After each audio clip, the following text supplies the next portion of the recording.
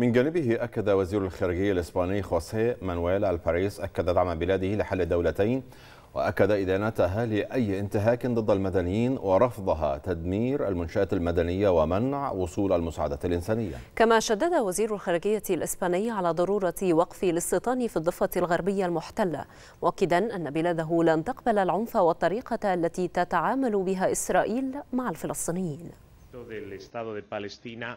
نتمسك باعترافنا بدولة فلسطين وإقامة دولة فلسطينية. فالوضع في غزة أصبح كارثيا ويتطلب وقفا فوريا لإطلاق النار وندين أي انتهاك للمدنيين ونرفض منع وصول المساعدات الإنسانية. نحن لن نقبل العنف والطريقة التي تتعامل بها إسرائيل مع الفلسطينيين ونسعى إلى سلام مستدام عبر حل الدولتين.